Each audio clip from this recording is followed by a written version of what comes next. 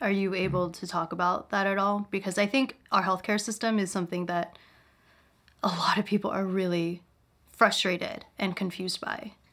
Um, kind of for this reason. There's like some things you can do, some things you can't do, some Right. things you your insurance will cover, some things it won't. Do, do you do you know if people's insurance generally cover this?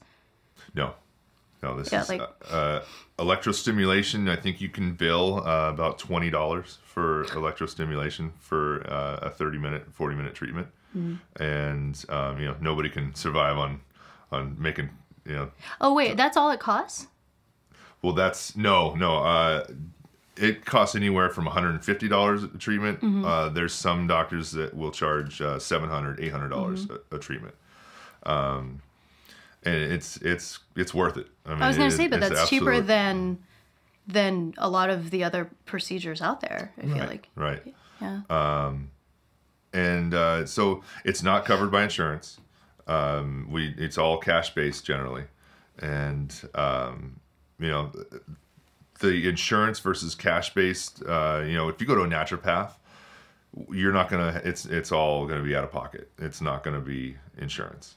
Um, and that has gone to like a s- at least here in California, it's gone to about a 60 40. Uh, uh, people paying for healthcare with insurance and pe- people paying for healthcare out of, out of pocket.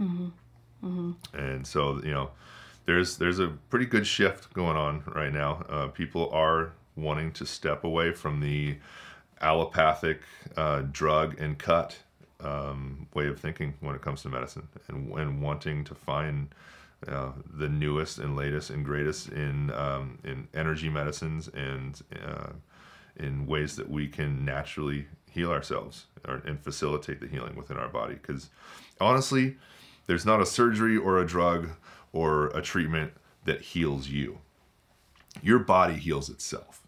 We are incredible creatures, and and, uh, and we have this genetic makeup and and this cellular function that is just so mind blowing. And we are the real genius. We're the we're the brilliant healer.